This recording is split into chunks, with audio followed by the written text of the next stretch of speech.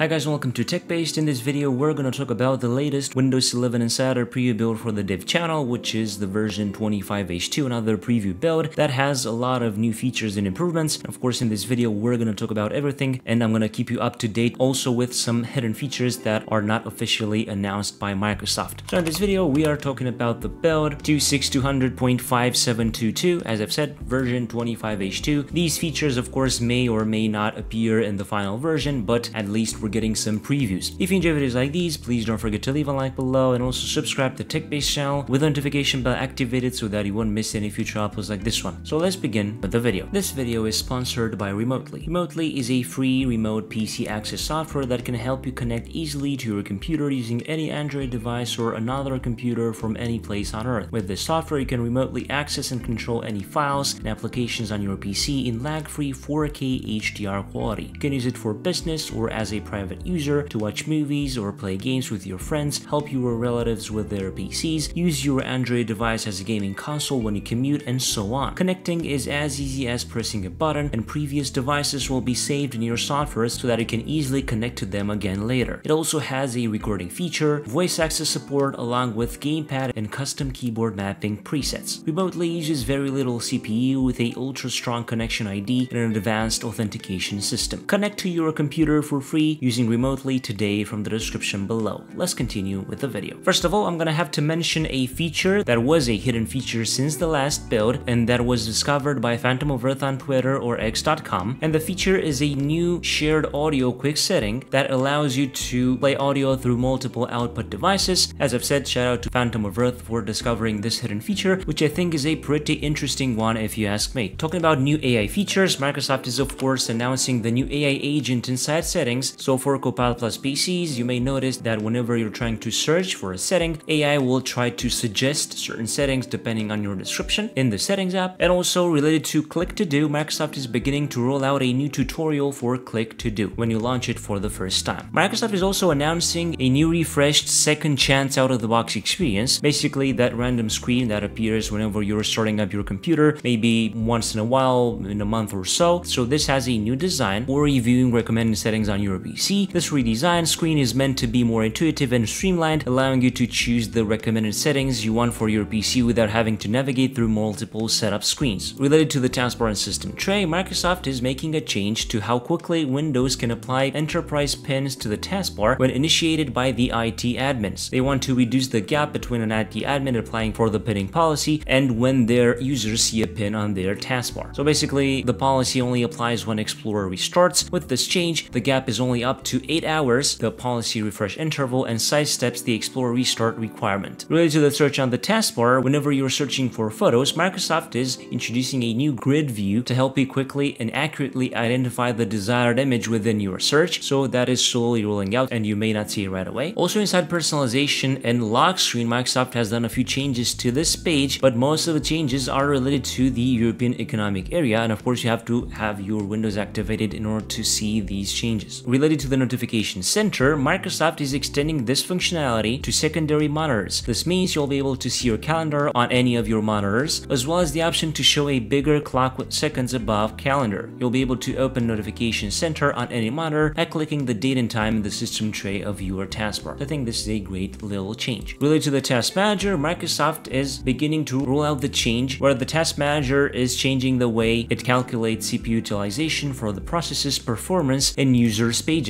Basically, Task Manager will now use the standard metrics to display CPU workload consistently across all pages and aligning with industry standards and third-party tools. Now let's talk about a few fixes in this build, for example, related to the taskbar. Microsoft fixed an issue where the task view icon in the taskbar might be unexpectedly invisible if you turned it off and back on in settings, the space was reserved and you could click it to open task view but nothing showed in the space. They also fixed a rare condition which could lead to the widgets icon not displaying in the taskbar although it was enabled in settings. No space was reserved and clicking the area did nothing, but that is now fixed. Related to login and lock, Microsoft fixed an issue which was causing the text for lock screen widgets to be unreadable in some cases because it was white on a light background, and they also did some work to address an underlying issue which could lead to the taskbar being slow to load when unlocking your PC after coming out of sleep. This issue could have led to the password field and other login screen contents not rendering when transitioning from lock screen to login screen after sleep. Related to the File Explorer, Fixed an issue where if you try to use the unblock open in properties for a file, it will still show as blocked when you open properties the next time. Related to the start menu,